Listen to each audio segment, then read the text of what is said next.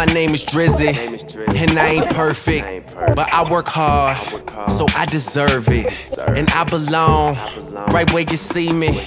Ain't on the fence about it, I ain't Mr. Feeny. Nah, I got a decent set of manners and a job that fills up any empty schedule, a planner. And I fall in love with girls caught up in superficial glamour who dress like Sarah Jessica and live like Princess Diana. So often they have addictions, and I'm the one that'll feed it. But truly, you're bad enough that y'all don't even really need it. You could show up at the party on dirty public transit, and I guarantee the cameraman will still be snapping candids of you and your posse party and drinking what you get handed with your Virgin Island. Peace out.